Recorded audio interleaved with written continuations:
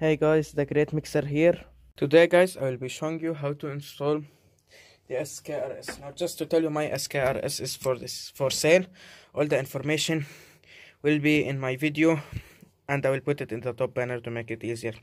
Just real quick to tell you the tools you are going to need are a uh, Phillips head screwdriver and a 3 centimeter or millimeter Allen key. If you have 3.5 you can use it now uh, if you buy it from me you will need a 10 millimeter wrench. Let me tell you why. You see here this allen key here the camera for yes. And this side it has the same allen key but here i have this 10 millimeter uh, uh, bolt and i'll tell you why in the remaining of the video. So if you bought it from me 10 millimeter wrench will help.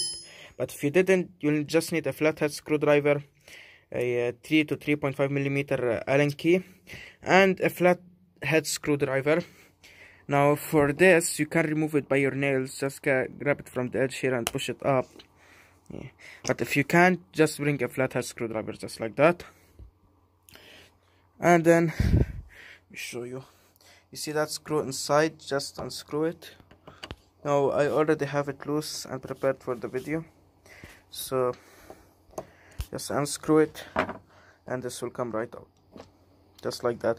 Now if you plan to get a SKRS I really recommend you to keep your uh, shifter knob and to save the screw inside just remount this back. Okay. Now uh, let me pre prepare my SKRS because I want to unscrew this bolt. Now in your case you have to unscrew these two uh, Allen keys in my case this Allen key and this bolt so let me remove them. Okay guys so I got it ready here. Now the way you mount it depends. So make sure you just mount it facing straight just like that. Once it's facing straight then you can tighten up your bolts I will just tighten them and come back.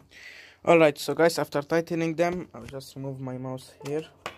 You will have to plug the wiring harness. It's big enough here so you'll have to plug this. It's a USB just plug it in.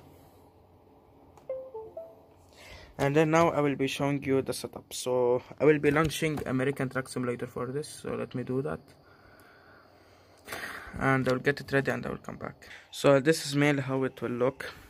You have here your range chooser so low high. And here is your splitter. Now until the game launches just to explain the range low and high depends on what you are carrying. Low gears are basically like more for crawling gears and high gears more you know for cruising gears or high speed gears. Now low gears according to my knowledge does uh, make fuel economy worse because more torque will be transferred. But you should not worry about that. And here when you control through your 18 speeds so for 6 speeds another 6 speeds and low and high will count. So let me show you.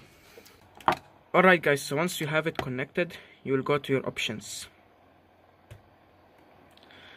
In Euro Truck and in American Truck it works the same. And then you can go to your controllers.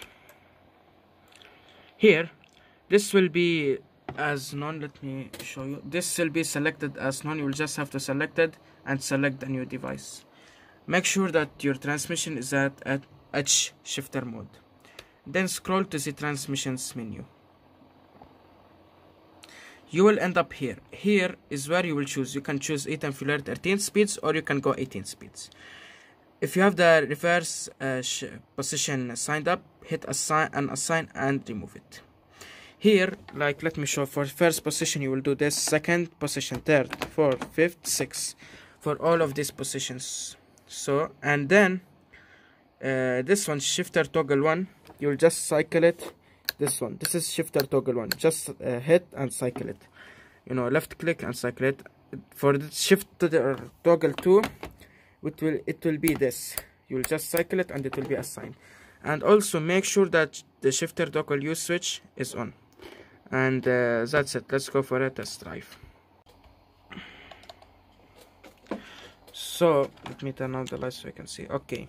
So guys this is what you will end up with um, so in 13 speeds the reverse gear so let me show you. So this is reverse gear. Then you have crawling gear then first second third and fourth. Again this is for your low and high gears. You will only have that with 18 speeds. Then for this switch turn it up all right then you will have like i said five six seven eight. And the same switch for the range 8 high 8 low. Me turn on here so let me give you a run. So again this is crowning gear which use used to set on hills. So look like I will show you here. I will be driving. As you're able to tell I easily set. And then I take it to second gear. This is what's recommended because of the very low uh, ratios. And then I take it to third. And then goes to fourth. Alright and uh, this is what you end up with. Then again go for higher range fifth gear right now. So I am right now in fifth gear because uh, in this kind of setup you won't be able to achieve high speeds in low gears. Then sixth and you get the point. So let's say that you are in a hill right now. So let me stop. Let's say that you are in a hill.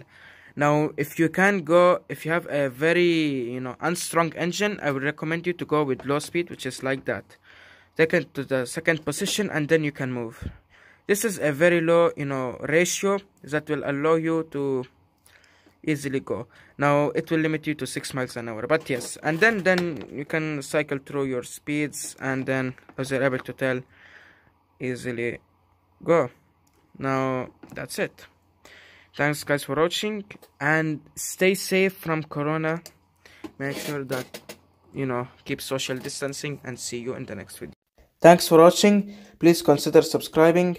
Also you can watch one of my previous videos. Also follow me on twitter and you can share the video. So see you guys in the next video. Take care